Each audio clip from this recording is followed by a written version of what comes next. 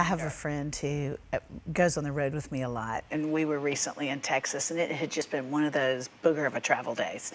You know, our flight was delayed. We finally get there. The rental car we had rented was not there, and they were like, "Oh, we're sorry. It'll be an hour." It was just one of those just hard travel days. And I said something, you know, cloaked probably in Christianity that was really grumpy. and she just looked at me and went, Stop and give me 10. And the people around us were like, is she like, are y'all in the military? like you tell through, but I knew immediately what she was asking. As we talked about it, I went, we actually made it to Texas. Oh, I get to talk about Jesus for a living. I oh, and she, I just had to say it. ten Yeah, things ten in things. that moment. I love was that. grateful for, and she I just is like, let's do stop and give me tens to each other. We're on the road, and so it's not just my quiet time that morning. It's mm-hmm. right then in that moment. Stop and give me ten, good. and I'll be like.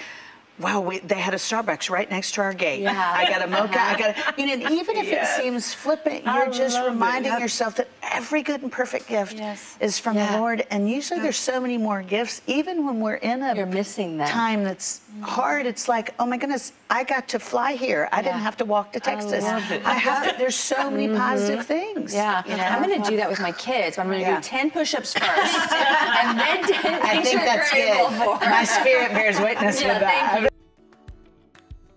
Hi everybody, I hope you enjoyed this video. Subscribe today and you'll never miss a new upload. Thanks for being a part of our Better Together community.